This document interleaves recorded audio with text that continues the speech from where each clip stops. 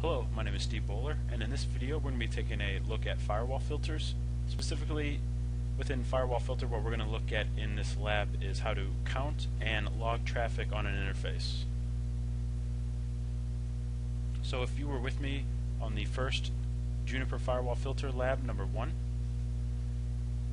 we learned how to set up a basic firewall filter and showed you why you would use a firewall filter. In this lab, we're going to extend some of the capabilities of a firewall filter.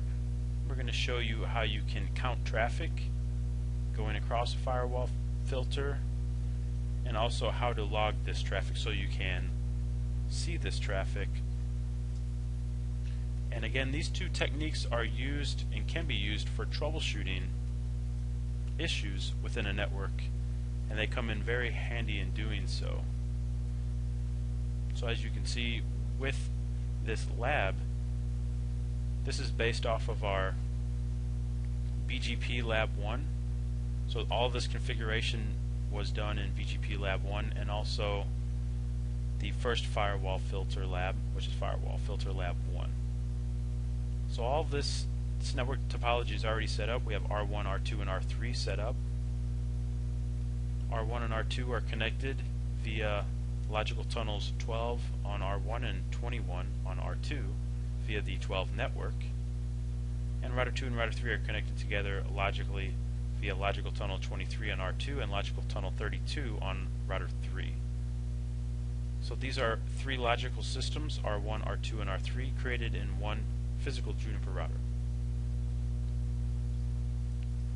So we also advertised on R1 into Autonomous System 100 and BGP the 1 network and the 11 network.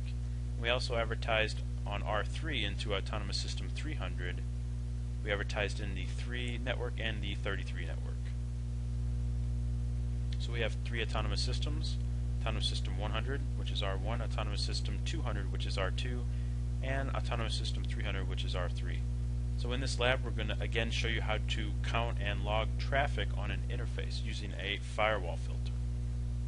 Let's go ahead and get into router 3.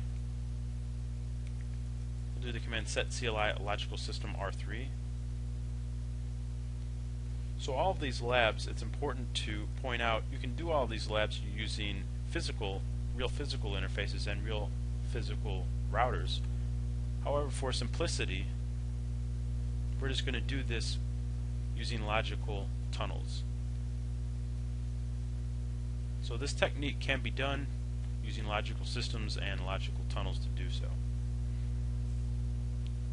However, it can also be done using physical routers and connections between them as well.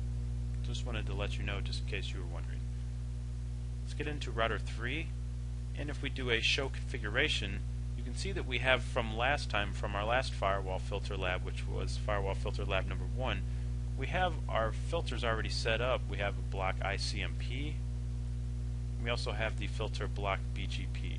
Now if we look under under the interface and it as we remembered in firewall filter lab number one, the filter is applied to a logical interface either in the inbound or outbound direction under a specific family. In this case, IPv4 we applied this inbound on R3 to unit 32 under family INET.